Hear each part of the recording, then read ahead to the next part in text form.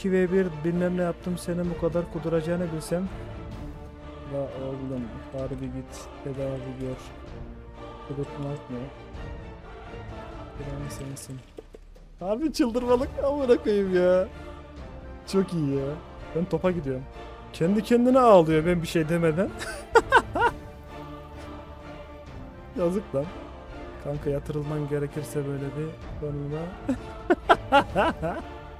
Farm diff yemiş. Tek kelime etmemişim. Tamam mı? Cevap verme gereksinimi duyar ya. Bildiğin onun gibi. Onu şey yapıyor şu an. Böyle yazıyor şu an haklı. Aynen aynen. Aynen. Doğanın kudreti de çıkacağım ben. 5 Medarus bana psikolojik tedavi al diyor AQ. Dırıt dırıt dırıt dırıt. Şimdi gelelim Zed'in deyimiyle beni 1 ve 2 out pilav ettiği yere. Sonradan göstermedin etmedin denmesin. Adam zaten dürte dürte yarı canım almış. Ulti atıyor, tutuştur atıyor. E kes bir zahmet Zed'sin değil mi? Ve W ile kaçtığı yerlere patlangaca basıp kaçtığı yerlere plays diyor. Milyon çok var ya. Harcadı gölgesini. Hiç uğraşamam seninle ya.